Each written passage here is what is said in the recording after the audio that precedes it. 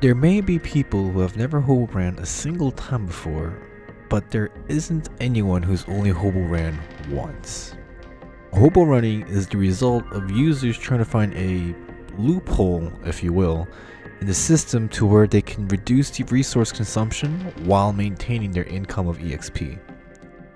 Now, to start with explaining the back end of the code and game design as to how hobo running works, in Girls Frontline, if a doll goes into combat with zero ammo and or rations, she won't be able to do anything other than move around. She won't be able to attack or use her skills. And the resources you use to conduct combat is also used in doll and equipment construction. Meaning, if you don't stop either one or the other, you'll always be broke on resources as logistic regeneration isn't fast enough.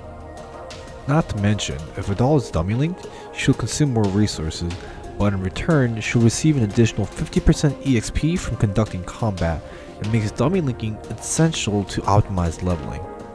But that creates an endless loop of dummy linking for efficient EXP game, but that also ends up in increase of resource consumption. The solution that the community came up to this loop was to cut off supplies from specific dolls that don't contribute to the battle at all. The ideal scenario becoming where with only one doll's worth of supply is consumed, but up to three dolls worth of combat EXP is gained. By achieving this, you're cutting down 4 dolls worth of resource consumption while still being able to level a good amount of dolls. EXP earning is static for every mission, and if a doll is under the recommended level range, therefore under the EXP penalty threshold, she'll be able to receive combat EXP regardless of her contributions to the actual combat, thus making the end goal of hobo running to make grinding for levels resource consumption efficient while maintaining a high EXP income efficiency.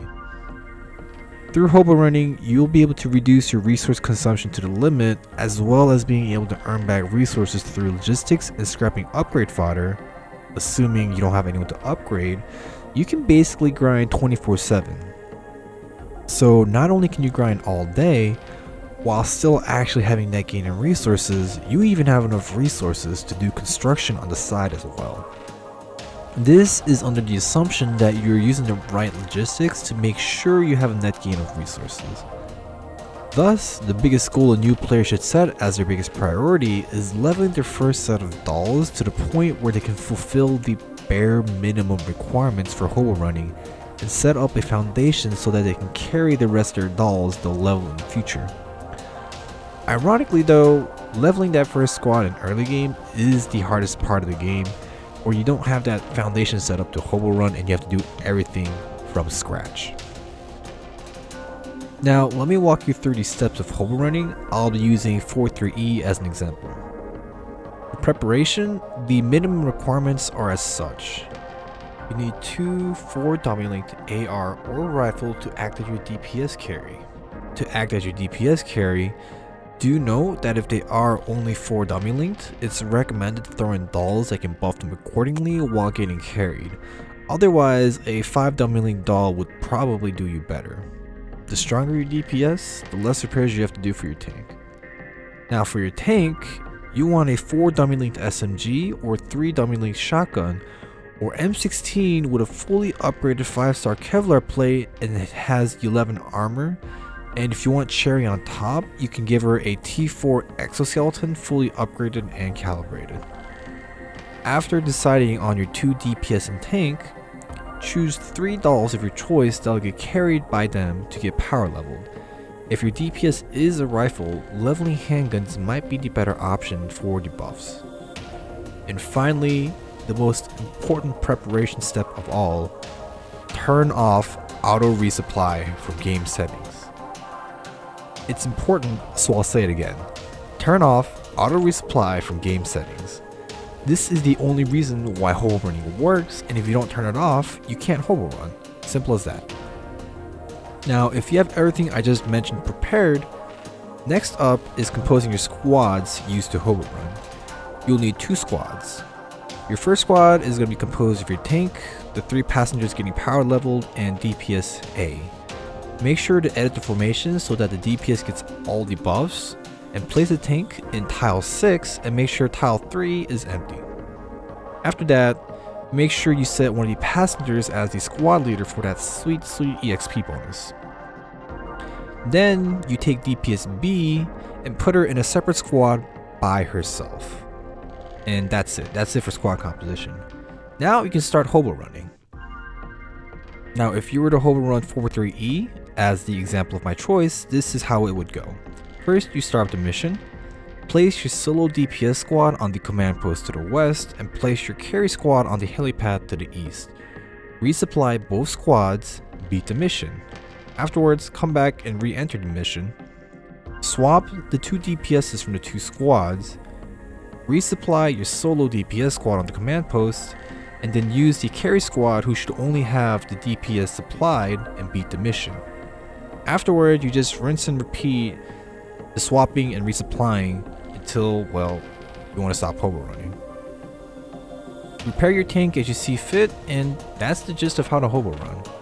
Once you get into the loop properly, you're only consuming a single doll's worth of resources while still gaining a bunch from logistics, resulting in the situation where you're able to grind basically 24-7 but still end up with a net gain of resources usually. Though as I did explain earlier, the dolls that aren't supplied can't do anything but just stand there or move around, so the requirement for the DPS and tank is being able to wipe out the enemies while trying to minimize the damage the tank will accumulate over time, because less damage accumulated equals less repairs. The most basic format for hobo running is 2 ARs as the DPSs and 1 SMG as the tank, but obviously this can be changed depending on your needs and wants. Though because of this shit ton of extra work, I mean little inconvenience of swapping DPSs after every run, there are a lot of people who just say fuck it and resupply the whole squad at every run instead. Obviously, hobo running is nothing more than an option towards leveling your dolls and it's not required. The only thing you do it for is for resource efficiency because you're running out of resources doing god knows what. You can choose to hobo run or not, that's more power to you. Now let me showcase the two most commonly hobo run missions, 43E and 02.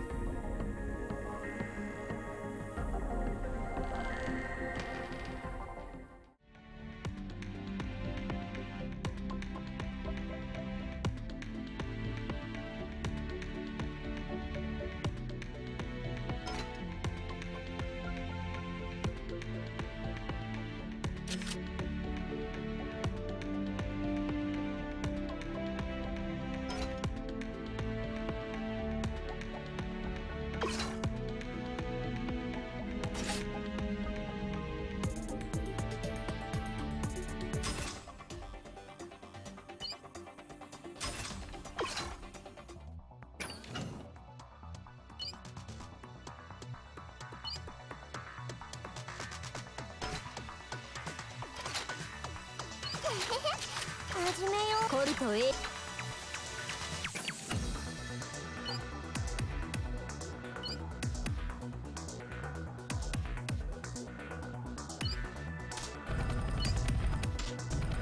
出撃です。真の名誉が私を待っています。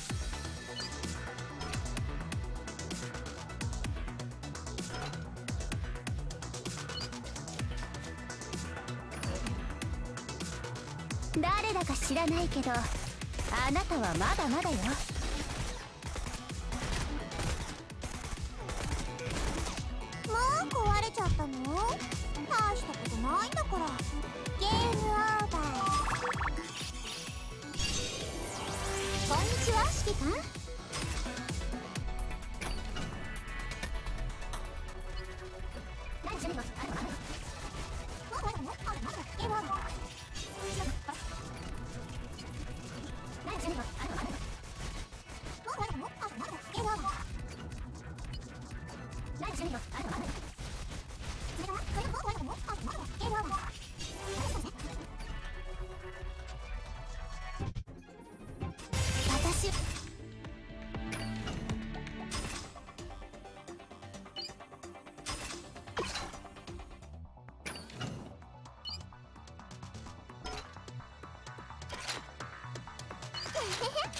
始めよう。コルト AR15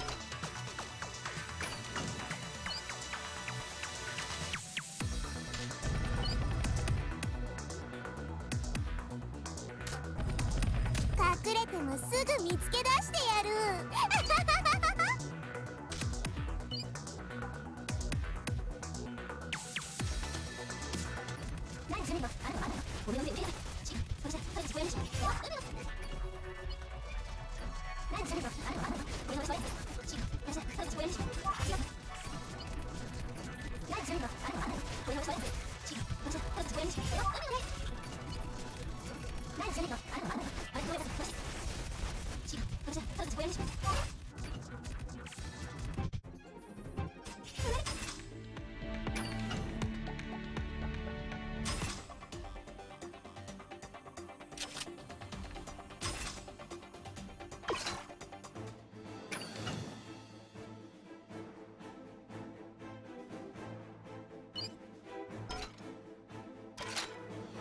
コルト AR15 が勝負。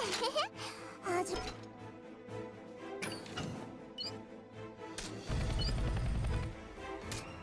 行きましょう自由な世界へ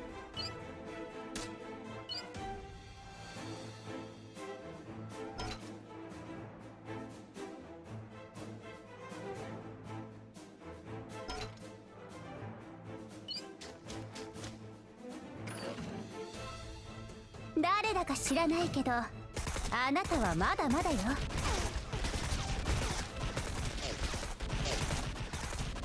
お姉ちゃんたちは気をつけて。次は私の番よ。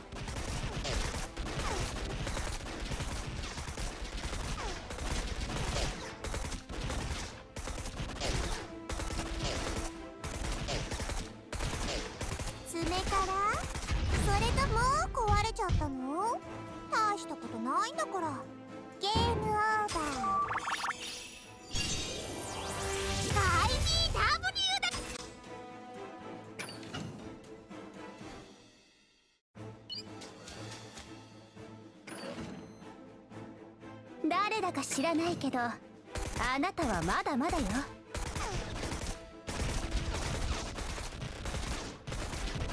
爪から？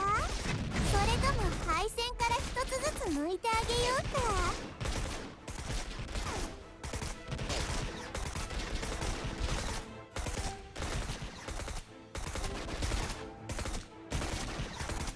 もう壊れちゃったの？大したことないんだから。ゲームオ分で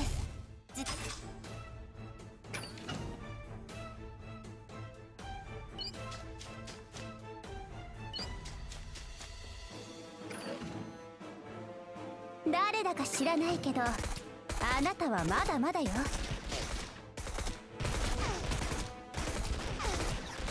お姉ちゃんたちは気をつけて。次は私の番よ。もう壊れちゃったの？大したことないんだから。ゲームオーバー。これは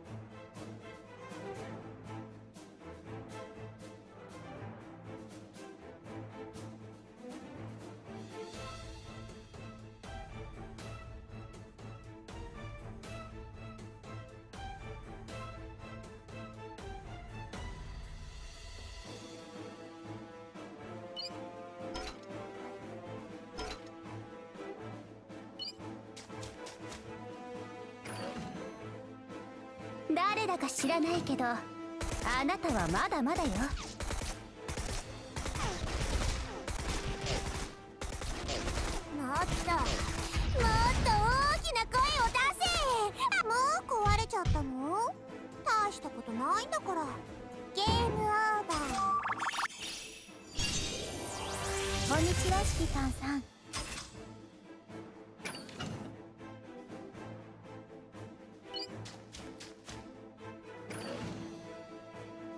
誰だか知らないけどあなたはまだまだよ。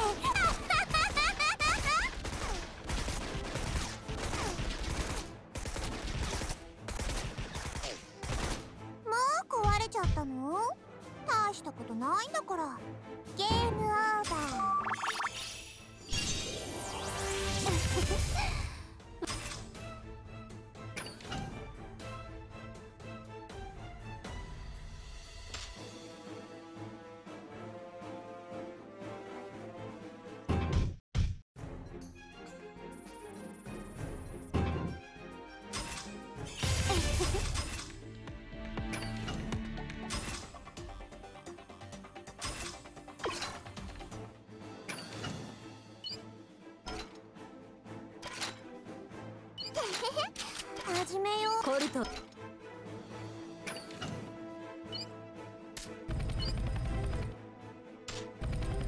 行きましょう。自由な世界へ。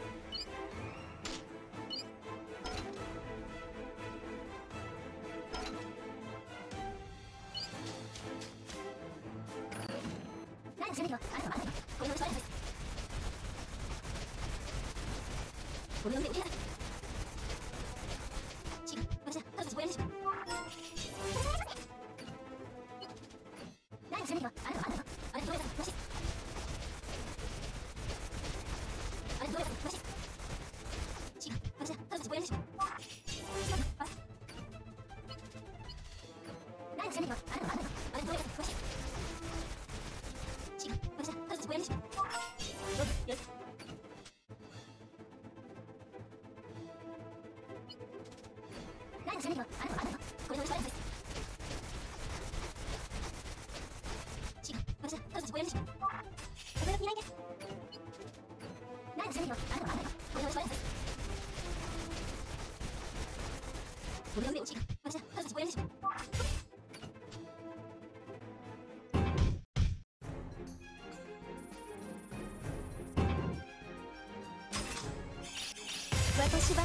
Duck.